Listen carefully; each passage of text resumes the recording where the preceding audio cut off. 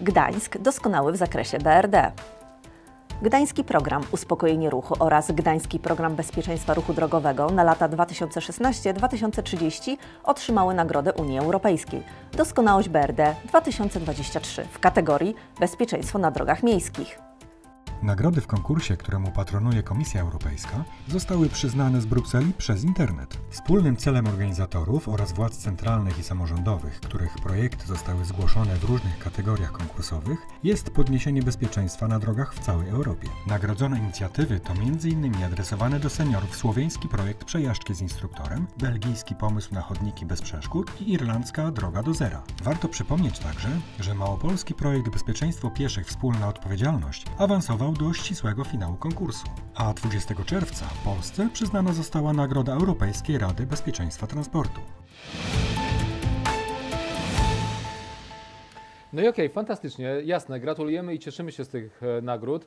Natomiast ja mam takie wrażenie, że wyzwaniem jest e, wprowadzenie tego po prostu w życie, tak żeby to działało w praktyce, bo muszę Ci powiedzieć, że e, w ciągu ostatniego tygodnia przejechałem około 3500 kilometrów przez Niemcy, Austrię i Włochy.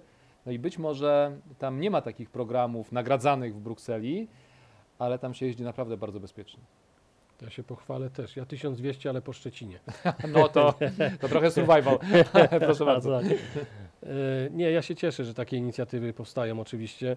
Trochę y, uśmiechnąłem się, kiedy słyszałem o tych chodnikach bez przeszkód, bo pamiętam jak wiele lat temu byłem we Francji i e, kiedy zbliżasz się do przejścia dla pieszych, tam nie ma krawężnika, tylko jest łagodne zejście. Także osoby na wózkach, ale nawet osoby sprawne po prostu się przemieszczają. I my tworzymy z tego projekty, a to jest po prostu codzienność, to powinna być normalność. Fajnie, że się opiekują seniorami, którzy gdzieś tam mają swoje złe nawyki w prowadzeniu pojazdów że pojawiają się wszelkiego rodzaju inicjatywy, których celem jest przede wszystkim podniesienie stanu bezpieczeństwa na drogach, ochronienie człowieka przed tymi nieszczęściami uczestnictwa w wypadku drogowym.